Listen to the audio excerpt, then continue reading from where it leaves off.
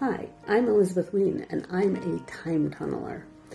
I write books featuring adventure stories set during World War II and featuring young people who fly aircraft.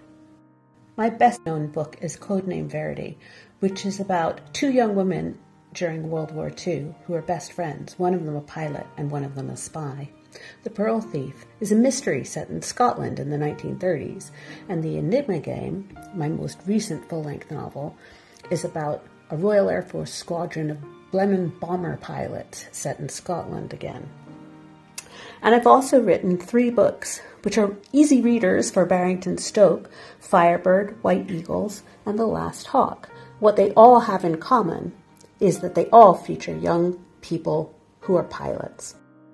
I'm actually a pilot too, and there's all sorts of paraphernalia that go along with being a pilot, such as your license, your logbook, in which you record all the flights that you've managed to do, and a number of other things, such as maps, and your headset, artifacts like the pilot's map are things that I find kind of fascinating because, of course, they've been used for years and years. And here's one from the 1930s, and here's one that was used by escaping airmen who might have been shot down over enemy territory in the 1940s.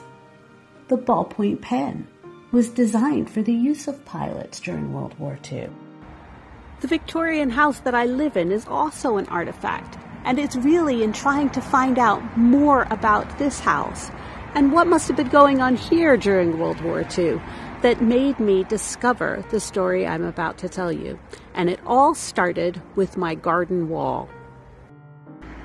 Lots of fence railings like this one were cut down during World War II to be used as metal to make ammunition and cannons for the war effort here's what's left of those railings in the garden wall. I used to think that these stumps of where the iron railings used to be were the scars of how the war affected my house. But when I started digging into the history of my house, I discovered that its invisible scars were much more tragic. The only child of a couple who lived in my house for 40 years left that house to go to war and never came back. Chick Powery was a navigator in the Royal Air Force. He was part of a team of pathfinders, a dangerous job in which an advance aircraft would have to find and mark an attack site for a bomber squadron, dropping flares in the dark that would light up the enemy target. On the 7th of December 1940, he and five other crew members in a Wellington bomber flew into atrocious weather in the dark to mark the target for a bombing raid in Germany.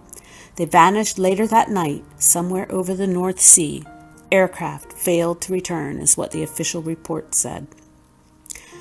This wartime poster encouraging people to donate metal to the war effort is a picture of a Wellington bomber just like Chick's. His own fence railings may have become part of the plane that he died in.